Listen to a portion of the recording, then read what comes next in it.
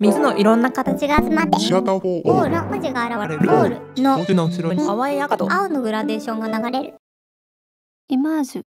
作品本編のキービジュアルのイラスト。句をつかむ手。窓から吹き込む落ち葉。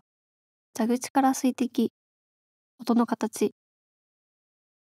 イマージュ。ラーニング。それぞれの世界について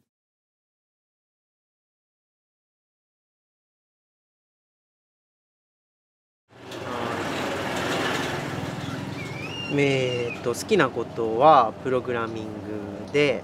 まあ、なんで好きかっていうとまあプログラミングしようとしているものが構造化されるんでまあ今扱っているものはこれで、まあ、それはこの中に含まれている、まあ、こういう概念であると。でこれは何をすることまでが仕事でそこからの責任はないからこれをやる責任はこっちにあってそれが合わさると結果こうなるっていうのを、まあ、記述していく作業なんで、まあ、それで後々記録にも残るしまあ分かるとじゃ絶対なんかこうそれが正しくなるというので、まあ、プログラミングは好きです。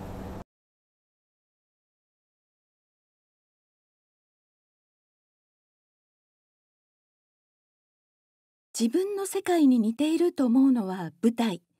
舞台を見るのが本当に好きです。特に小さい頃から宝塚の眩しくて華やかな世界観に惹かれていました。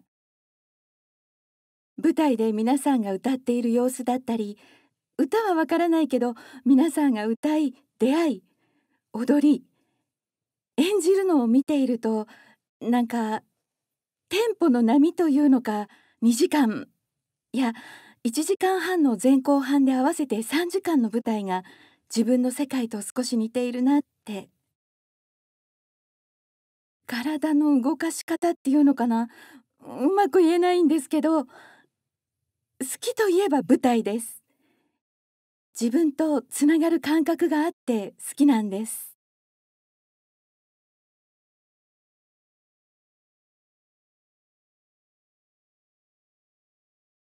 そうですね。想像することについて聞かれて思ったのは自分はよく想像しているなって。例えばお風呂なんですけどお湯に浸かっている時に今日会った人の中で印象に残った人の一連の動作を真似するんです。彼女や彼がなぜあの言葉を言ったのだろうって。その場で言われた時は同調したり少し違和感を抱いたりすることはあるんですが家に帰ってお湯に浸かる時になぜあの言葉をと考えるんです？それで実際に真似する。例えば彼の場合今朝遅れてきた時とか私が知っている範囲内での状況を考慮した上で彼はそういう経緯があってその言葉を言ったんだって。そういった理解の仕方それはよくやりますね。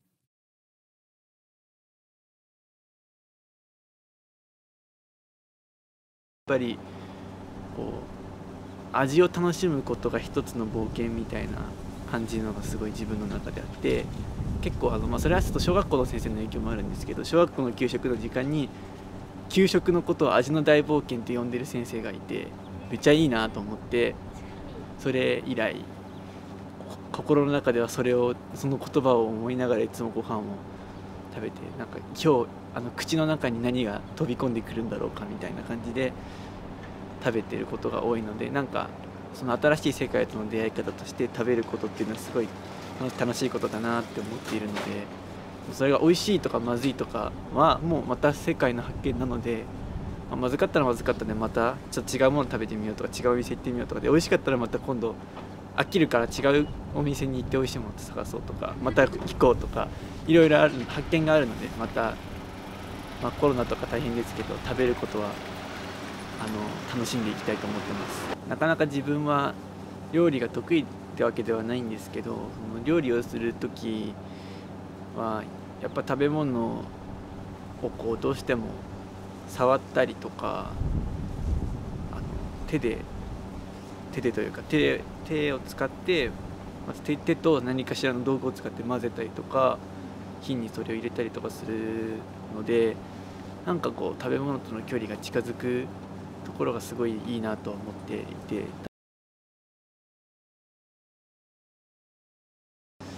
っぱ誰かと初めて出会う時っていうのは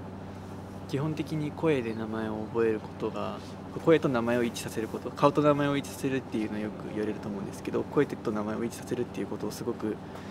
重要な情報源としているので特にまず名前はちゃんと覚えようっていうのをすごい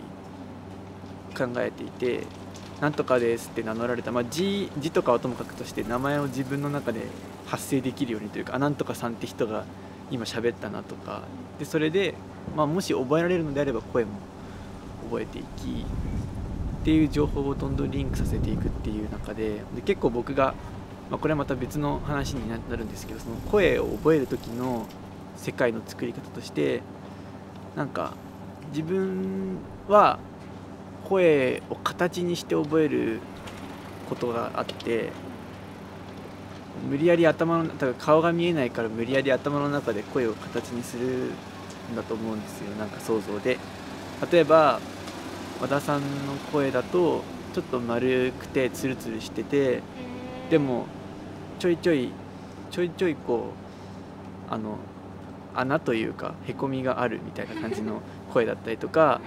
そういう風にしてこうまあ本当に多分体つきとか顔つきとかとは関係なく自分の作られた世界の中であこの人はこういう声の形をしていてこういう名前の人であるみたいな覚え方を情報を多分あのいわゆる覚えパソコンが覚えるじゃないですけどそういう風にして記憶蓄積してるのでやっぱり人を知る時っていうのはその情報を大し結構大切にしてると思います。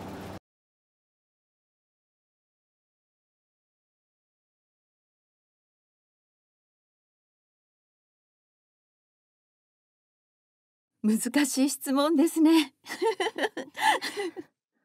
世界の理解の仕方好きなこととかですか自分の好きなことは何かですね。うん。私から話しますね。菊永の好きなことは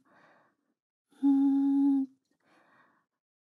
大きなテーマとしては没入感。っていうのがある世界が私が好きなんですね。自分が夢中になれる。ゾーンに入ることができるといろんなことが発見できたり見つけられる。普段だと私はすごくだらしがない人間なので生活の中ではいろいろだらしなく過ごしてるんですけど何かこれっていう時にギュッと集中することができるということの気持ちよさがあるんですね。それを何かテーマにして異言語脱出ゲームもそうだと思っています。没入できるかどうかっていうのがポイントでその世界を作っていきたいと思っています。その中でうまく物語を使って例えば方言って耳にはするけど自分からは話そうと思わない。でもおじいちゃんおばあちゃんがの時代は方言といえばすごく歴史があっておじいちゃんおばあちゃんの時代にタイムスリップして昔の60年前に飛び込んだ。おじいちゃんおばあちゃんが若かった時に戻ってそこに自分が入ることによって方言を使わなきゃという設定で方言を使わないと前に進めないというのを作っていた感じなんです。そういった何て言うのかな自分の存在今ある自分の存在を乗り換えて物語の世界に入っていくということができると没入感をすごく作れるんじゃないかなっていうふうに思います。牧原です。私は忙しい中でもこれだけはっていうのは YouTube ですね。いいところ悪いところ世界そのものが映し出されていてそれが面白いんですね。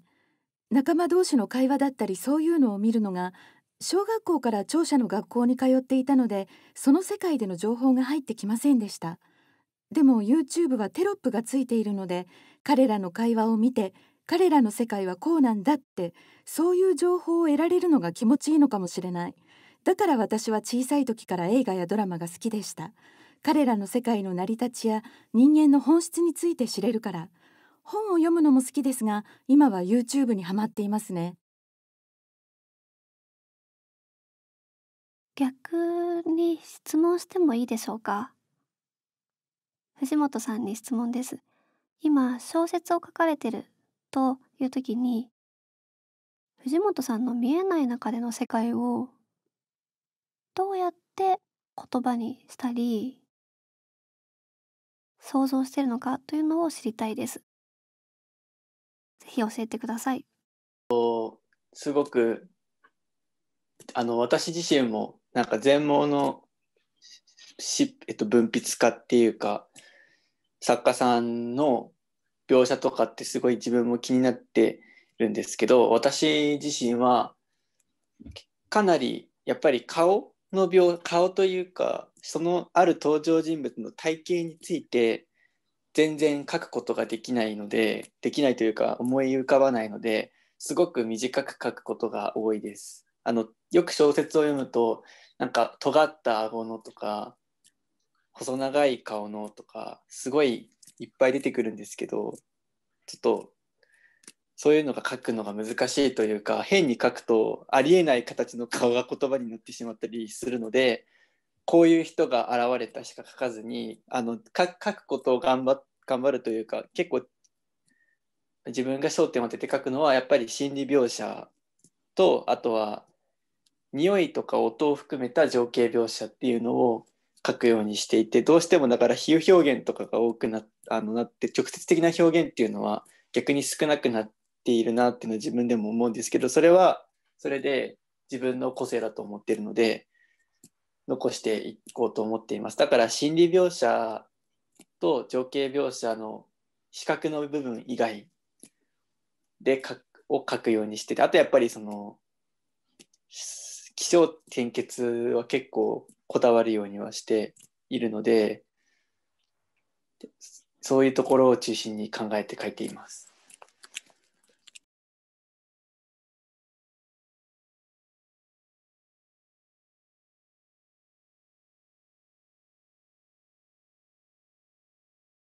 声の世界って感じですねそうですね声の世界っていうのはすごく自分でも意識しているのかなと思っていてやっぱり普通の小説と比べて会話が多いのかなっていうふうに思っていて結構最近自分でも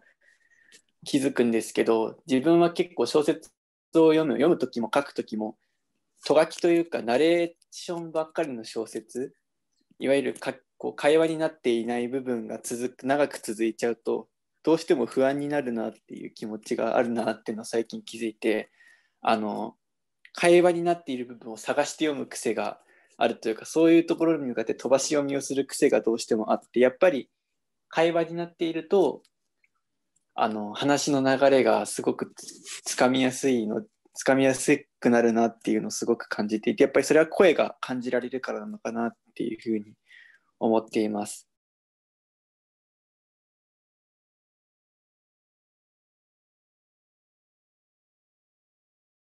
牧原です。藤本さんに質問があるんですけどもし世界が初めから盲者がマジョリティの世界だったらどういう世界になっていたと思いますか？例えば道とか環境とかコミュニケーションの方法とか。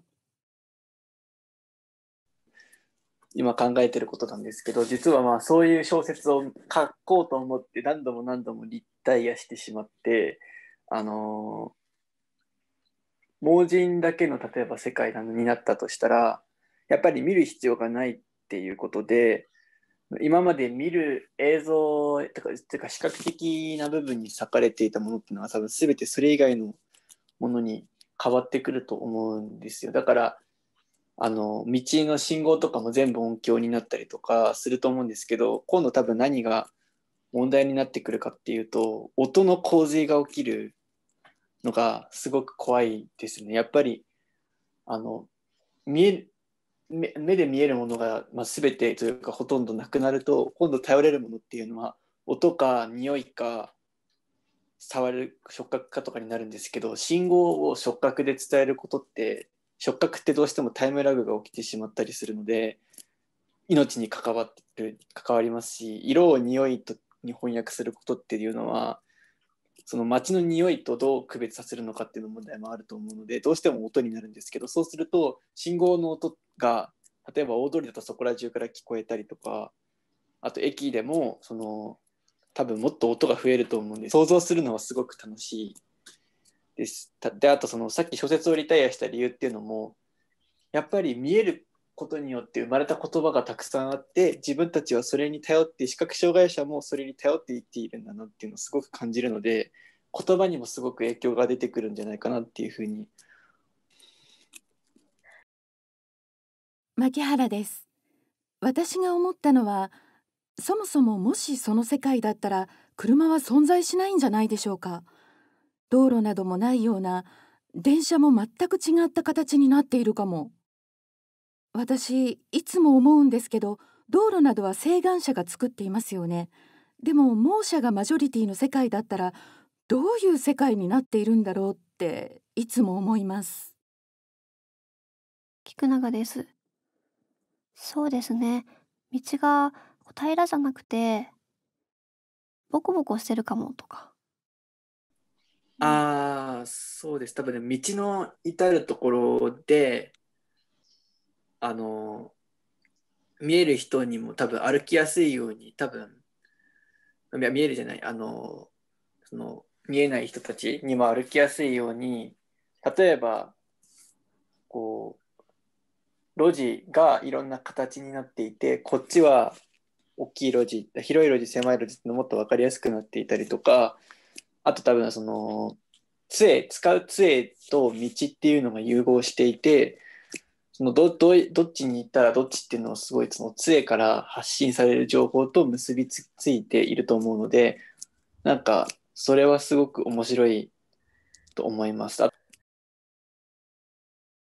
菊永です私が最初に言った没入感が好きってそれも盲の方の街っていうのを作っていってその子に入ってみるっていうのがすごく面白いんじゃないかなっていうふうに思います。実際に藤本さんが作られた小説をもとに例えばまあ架空の街ができていってそれを見に行きたいと思いました。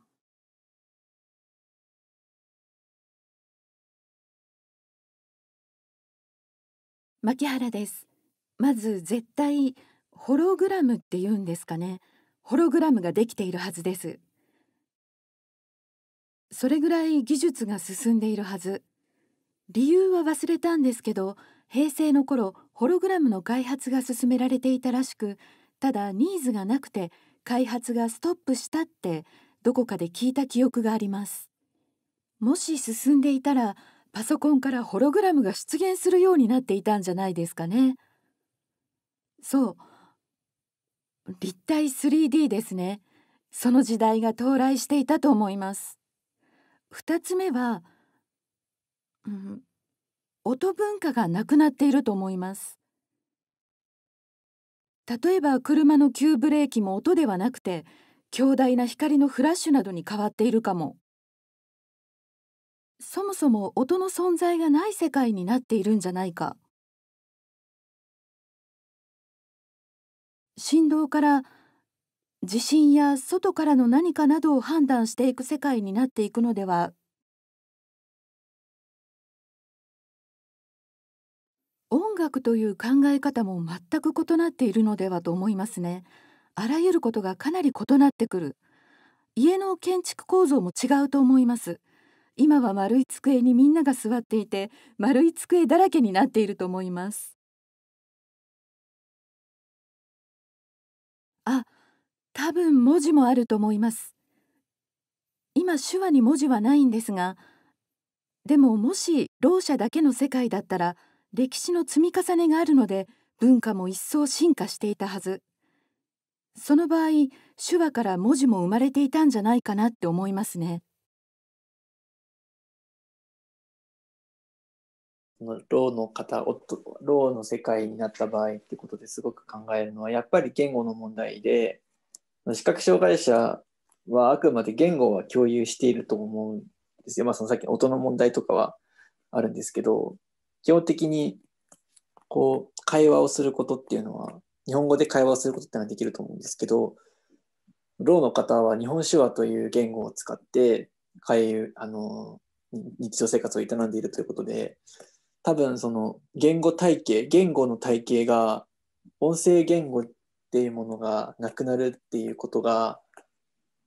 想像はできないしちょっと自分は怖いけど面白いことになるしなるんじゃないかなとその知能的な部分も含めて。それがなんかでその手話の言語制作というかそれがすごくその世界を作っていくとっていうのが言語の世界の大きな変革が起きる。それをちょっとパラレルな世界から眺めてみたいなっていうふうに思いますね。自分が入るのは怖いけど。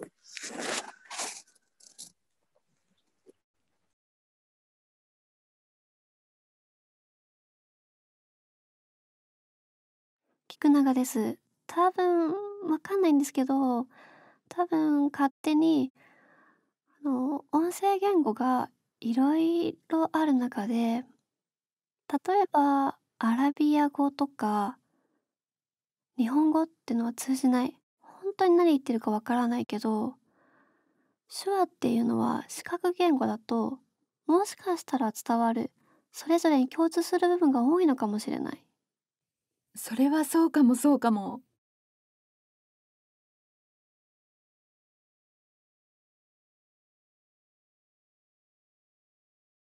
意外と世界は狭くなるかもしれないなって思ったりもします。距離がすごい近くなるかもしれないですね。うんうんうん、この世界いろんな人がいて民族やコミュニケーション方法とか移動とかそういったことが自由な世界になるかもしれない。菊永です。今日のテーマに近いかもしれないんですけど好きなことに対する興味っていうのが自然にみんなそれぞれにある。それがすごくいいなって思いました。例えば電車に乗る時にホームドアの問題とか落ちるっていう問題があるからどうしようっていうのではなくてシンプルに声が好きみたいなアナウンサーの声を集めるとか